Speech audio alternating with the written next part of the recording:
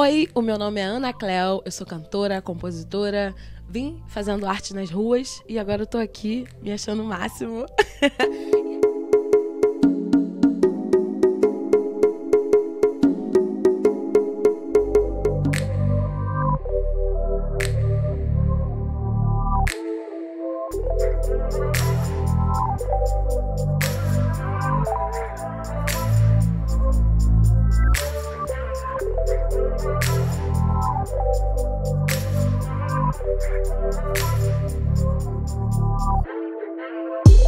Eu, como toda cantora, acho que negra no Brasil, eu acho que todo mundo, né? Eu comecei a cantar na igreja, né? Onde eu despertei o meu gosto pela música. E depois na escola, né? Eu sempre gostei de cantar durante os intervalos. Eu ficava cantarolando e aí os meus amigos descobriram que eu cantava, assim. Que eles começaram a ficar perto, assim, ué, canta de novo e tal.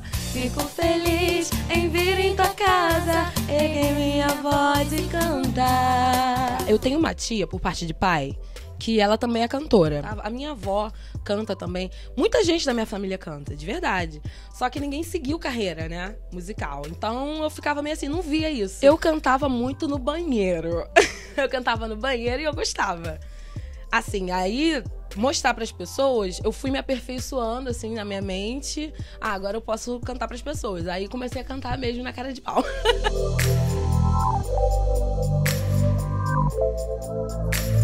Quando eu me tornei artista de rua, eu já tinha passado por, por algumas, alguns lugares bacanas. Fui gravadora, fui a São Paulo, procurei correr atrás.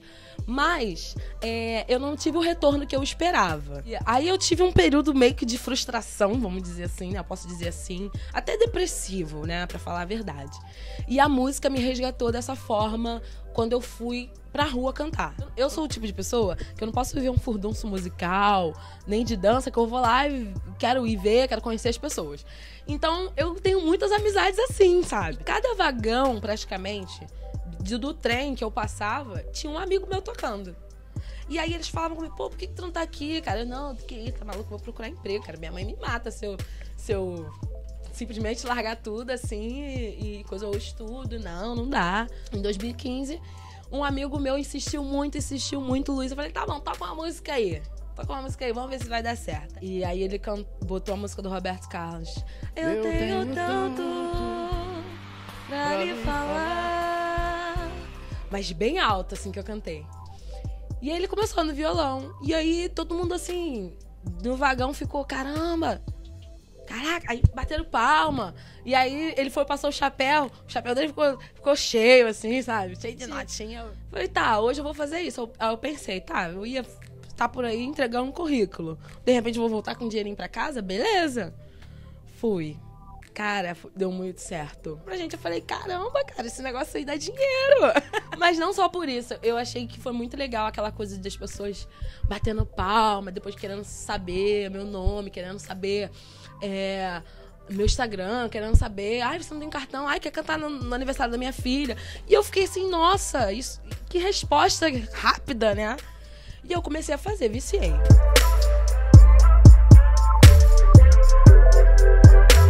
Aí comecei a cantar com a minha panderola, só. Aliás, comecei a cantar com a minha caixinha de música. Que eu botava uma batida de funk. Exata.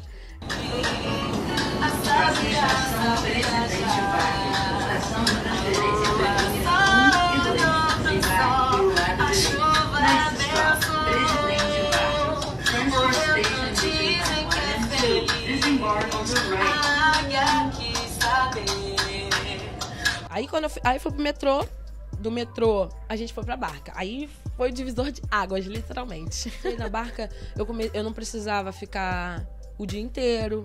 Na barca, tipo assim, duas viagens eu conseguia colocar minha meta diária, assim. Falei, ah, beleza, eu não vou ser a mega star, mas eu vou. Eu tô conseguindo aqui realizar o que eu quero. Foi quando eu conheci a Camila e o Marcelo na barca. Assim, eles são da empresa onde eu trabalho, né? Né a, a M Music. Só que eu, eu gosto de chamar eles de meus padrinhos mágicos. Eu tava fazendo a minha intervenção artística, falando com as pessoas, tentando melhorar o dia das pessoas, era no final de semana. Quando atracamos, é, eles vieram falar comigo. e olha, você e aí, você faz o que da sua vida e tal. Rolou tipo uma entrevista, né? E aí tudo foi mudando, a gente marcou uma reunião, conversamos, eu mostrei para eles as minhas músicas, eles amaram as minhas músicas. Eu já tava totalmente desacreditada. Eu pensava, ah, eu não vou conseguir. Assim, porque é muito frustrante você ter música e não poder, sabe, não, não, não ver as pessoas ouvindo aquela sua música que você se dedicou e tal. E aí, aquele momento, para mim, foi a, minha chance, minha oportunidade. E eles vieram assim, calma, vai dar tudo certo, você tem luz, tudo que eu precisava ouvir.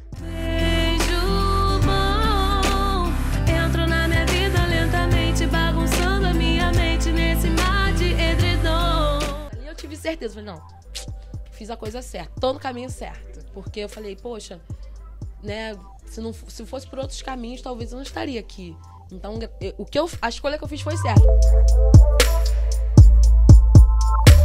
artista de rua e lidar com artista de rua, eu não, não sei se eu consigo me ver fora disso, mas pensando em outras perspectivas, assim, é, é, muito diferente. É um universo muito rico e não explorado. É, você nunca pode. Se você está fazendo o que você gosta, você não pode se sentir pequeno. Ser artista de rua é uma coisa muito grande. Hoje eu vejo, eu me emociono quando eu falo disso, porque. Porque é muito, é muito forte isso. Muito forte. Ser artista de rua é muito forte. A gente lida com as pessoas. Tem gente que tá triste, tem gente que de repente tá com a autoestima lá embaixo. É muito sentimento misturado.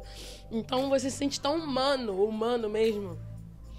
É, artista e humano. E isso que eu vou levar pra minha vida é ter lidado com todos esses artistas que são muito bons e que a mídia não tá vendo isso, sabe? Mas eu vi, eu vi, eu vivi com eles, eu, eu cantei com eles. Eu